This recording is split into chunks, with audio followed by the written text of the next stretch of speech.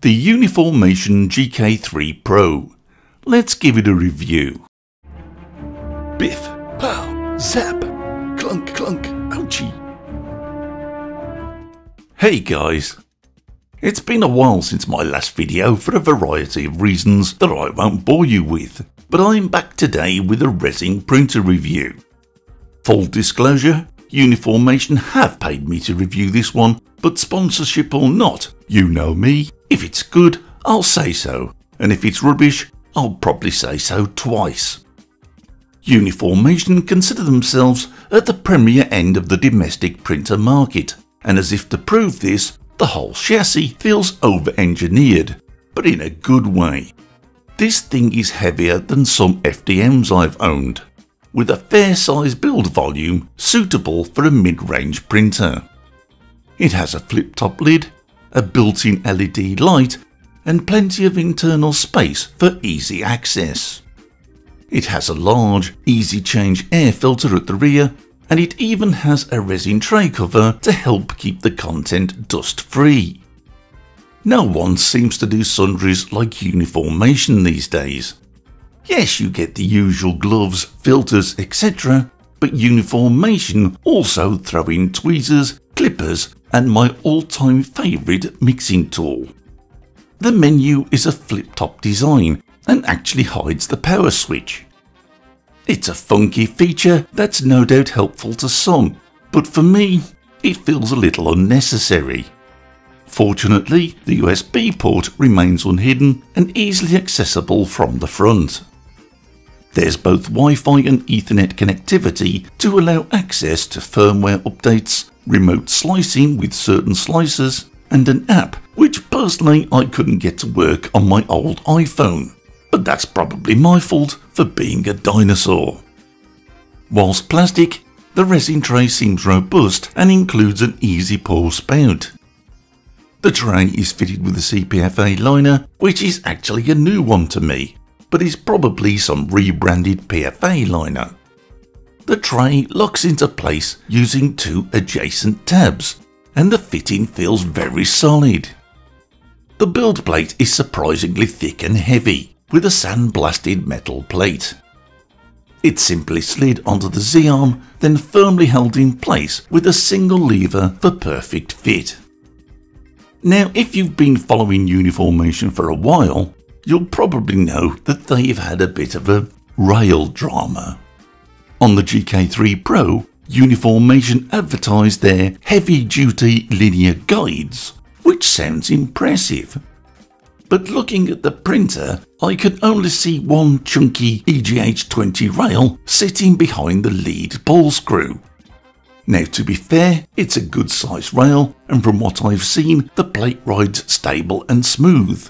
Alignment felt solid with no obvious binding, but unless I'm missing something here, I'd rather their advertising said single heavy duty rail as words can often be confusing. It comes with a 720p 2 megapixel camera, which if you can get the app to work, enables real-time monitoring. Compatible slicers like Box allow for the same thing via your trusty PC. I'd prefer to see a 1080p or better camera, but it does do the job. The GK3 Pro has a 9.6 inch 16K LCD high transparency mono screen. It's a 385 nanometer UV light source instead of the usual 405 nanometers which we see on most other printers. In theory, this gives us cleaner curing with less bleed, which in short means better prints. This is particularly effective with transparent resins. The GK3 Pro is shipped from the factory fully levelled, and mine certainly was, though there are video guides available for manual levelling if it's needed. Whichever angle you choose to have it, the user interface is clear, simple and responsive. Well, mostly, but no matter what I did, I couldn't get this slide control to actually move. This ties in nicely with the resin heating feature. Uniformation were, I believe, the first to give us the heating system on their GK2, and the 3 Pro is no different. preheating the resin to a more desirable level if required. Fortunately, 25 degrees Celsius is usually warm enough, and it was for me. But 30 degrees Celsius is available if you can get the slider to work. Uniformation do have their own slicer, but Lychee fans like me will be pleased to note that it's fully compatible here. However, in this review, I used Chitubox to take advantage of the built-in camera for time-lapse videos. Unfortunately, they all failed. So whether it's a slicer, printer or Wi-Fi problem, I can't be sure. Adding resin to the GK3 Pro can be done in the time-honoured fashion, or you can opt to use the brand-specific bottle to benefit from auto-filling. These slot into the top and once the printer started enable a smooth, steady and measured autofill.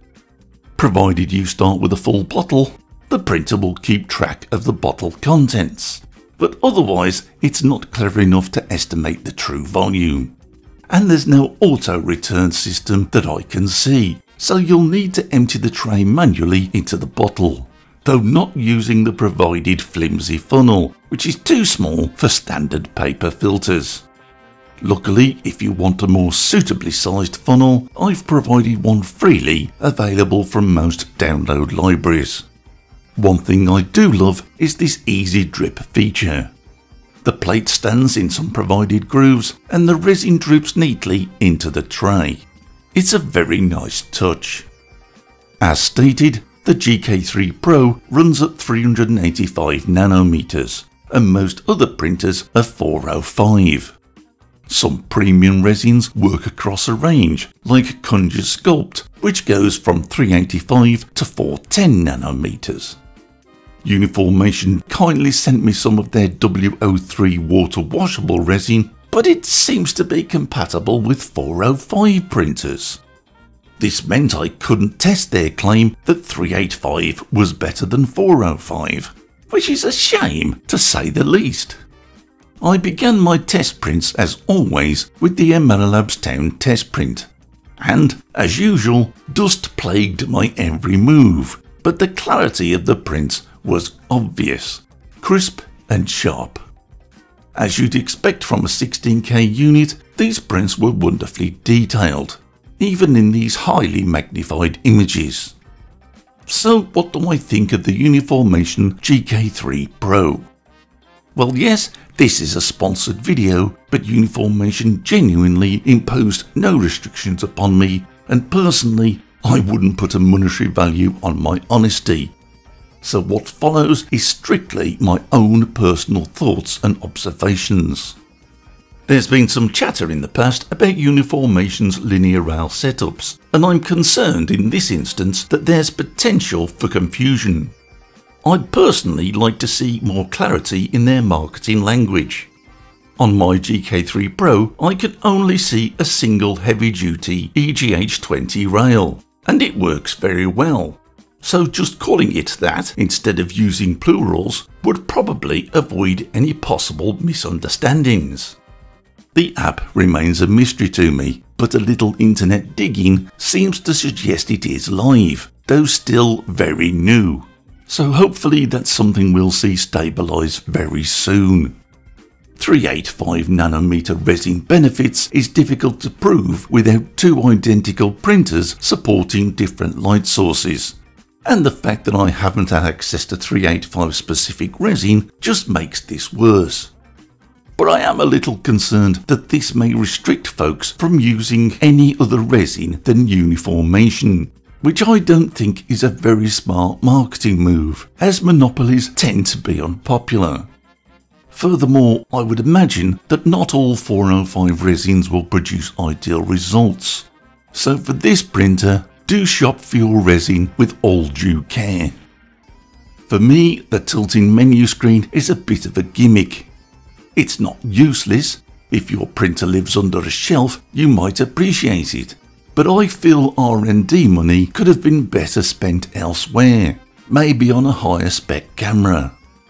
And now that I've ruined all chances of Uniformation ever sponsoring another one of my videos, let me tell you what I really think about this printer. I actually like it.